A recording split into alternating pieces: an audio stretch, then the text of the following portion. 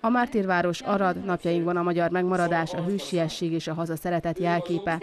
Az aradi vértanúk napján a Magyar Golgota városában a Szabadságszobornál hajtott fejet a mártírok emléke előtt a romániai és magyarországi politikum, a civil szervezetek képviselői, valamint külföldi, egyebek között vajdasági emlékezők, illetve a vértanúk leszármazottai.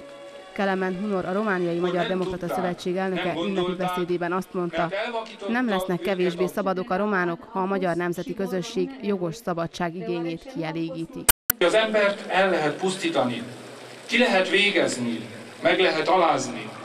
Egy népet ideig óráig el lehet nyomni, hallgatásra lehet kényszeríteni, de mégis van valami, amin sem a kötél folytása, sem a golyó ütötte halálos seb, sem másmilyen gyilkos fortély nem talál fogást. Nincs szabadsága a többségben élő népnek sem, ha a kisebbségben lévők nem tanulhatnak, nem imádkozhatnak saját anyanyelvükön.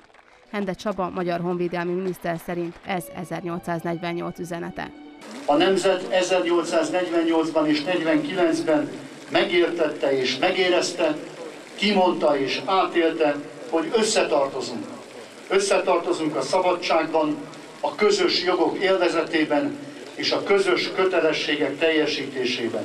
Az aradiság ma is egyet jelent magyarságunk ápolásával, a vértanúk tiszteletével, a szabadságszobor visszaállításával és a 48-as erekék megőrzésével.